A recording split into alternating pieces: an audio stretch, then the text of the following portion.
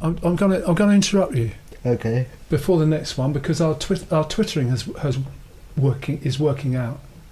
Our t- our Twitter uh, feed is W E N O T N O, and um, today I've put out four questions. Uh, I think in the states it, they're trying out uh, twittering as radio.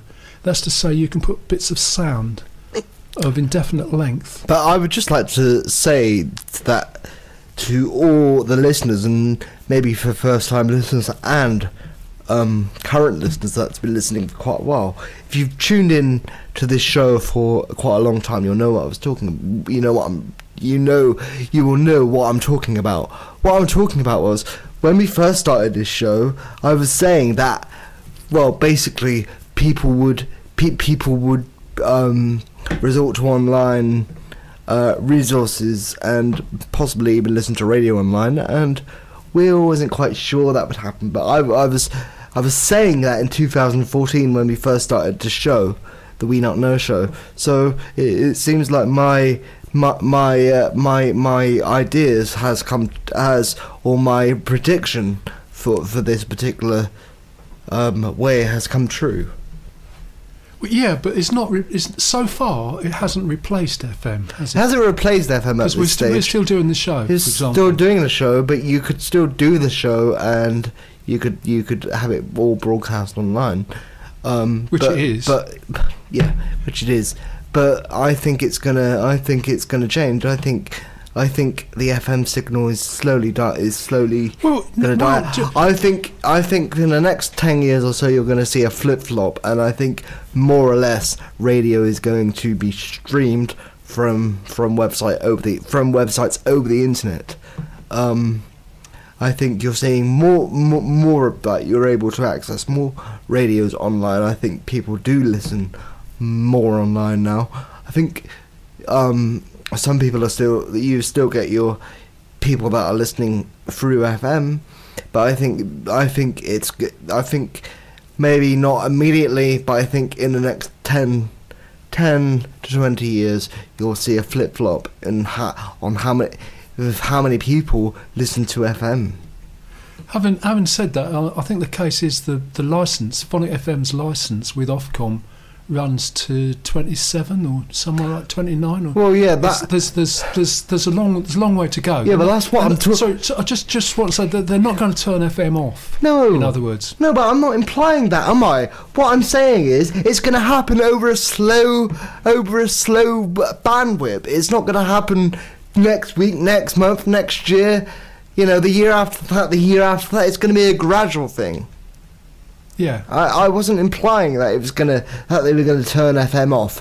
What I'm saying is, I think it, I think things are going to change over time Yeah. over a long time. You know, don't don't let my colleague misconstrue your understanding of what I'm trying to say. He's very misleading sometimes. I'm not, I'm not misleading. I was trying to clarify, but anyway. Well, can I'm I, sure the can I, listeners- ca- can, um, I, can I carry I'm on? can I carry on explaining this tweet, Jon? Well, I'm sure, but I would just like to get across to the listeners that I'm sure the listener, I'm sure the listeners understood me perfectly well before you interrupted me. Okay, okay. I just thought Yeah. people people will carry on tuning into one hundred six point eight. No, we do want Confident people to start listening to. FM will still be there. yeah, well, we and we'll do still want. A- Anyway, look, no, Jon, I do want to say. Well, you might be dead by the time. Well, I might be dead, Jon. Yes, statistically, I'm. Yeah, the FM may outlive me. I think that's quite possible. But that's a Oh. good thing.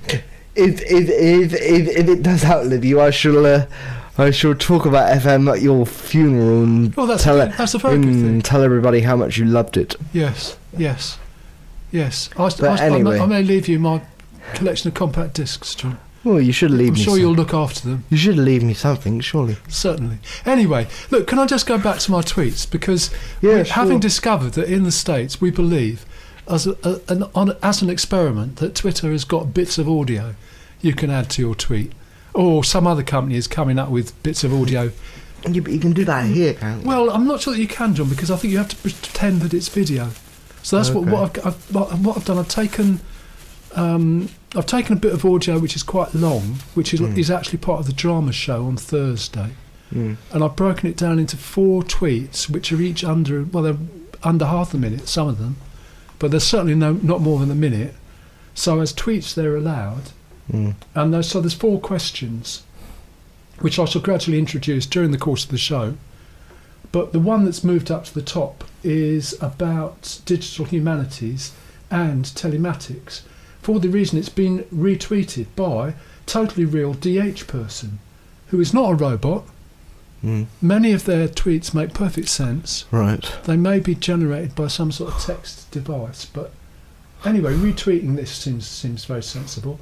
So I'll just go into the detail of it. What was telematics? What is digital humanities? And my reason for asking that is telematics is the last time I think the St Luke's campus in Exeter had a real interest in online learning and so forth. And um, digital humanities, there's a, there's a lab on the other campus, and they are producing uh, learning materials to support the online whatever's going on. So we'll co- we'll come back to this later on, but I just think it's interesting that that has been retweeted, and we'll try and find out if anybody's listening who knows more about telematics or what sort of research or teaching or whatever has gone on the St Luke's campus in the last five years or so. That would be interesting, and also um, digital humanities. What sort of stuff is being produced and um, what happens to it? That would be that would be interesting as well. Just to give an Exeter sort of take on all these things. Right. So thank you, Jon. For I've I've, com- I've made my point now. Okay.